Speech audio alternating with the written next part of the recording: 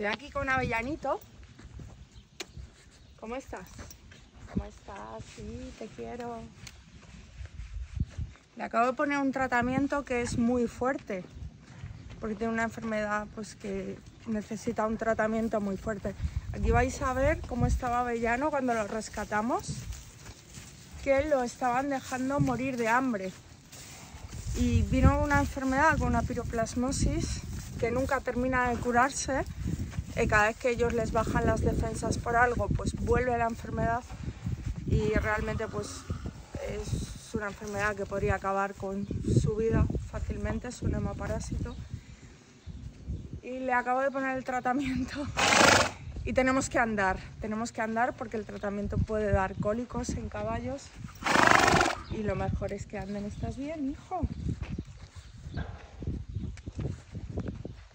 Muy bien. Y Avellano es uno de los... ¿Cuántos caballos?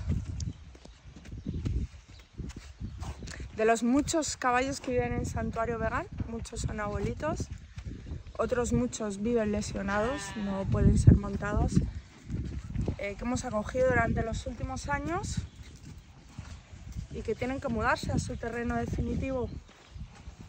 Porque la realidad es que para muchos animales, como Avellano, el momento que dejan de ser productivos, él lo abandonó un tratante de ganado cuando vio que no podía sacar dinero de él y le está dejando morir de hambre, pues encontró aquí pues curarse, encontró los cuidados, encontró, es un caballo que no tiene molas, que necesita papillas, no puede comer forraje y todo el cariño, ¿verdad mi amor?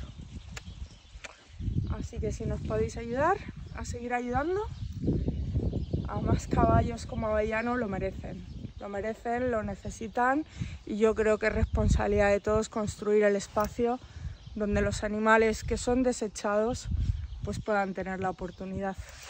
¿Verdad? ¿Tú estás de acuerdo? ¿Me das un besito? Un besito. Pues.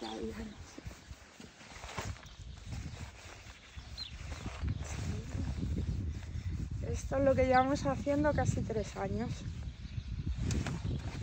Todas las veces que se ha puesto malito, que ha sido un montón de veces porque lo abandonaron medio muerto, pero aquí estamos para ayudarte. Venga, vamos a pasear, vamos a pasear. Venga, vamos, Avellano, vamos.